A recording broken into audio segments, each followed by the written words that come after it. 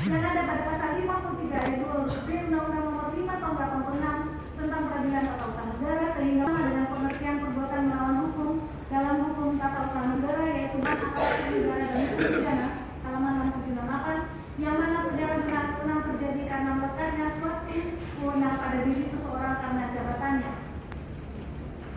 Sesuai dengan doktrin Utrecht dan Muhammad Saleh Jinda yang adalah kepentingan umum atau yang dihubungkan dengan organisasi sosial tertinggi yang diberi nama negara. Sedangkan yang dimaksud dengan lingkungan pekerjaan yang tetap adalah suatu lingkungan pekerjaan yang atau tidak dapat diubah begitu saja.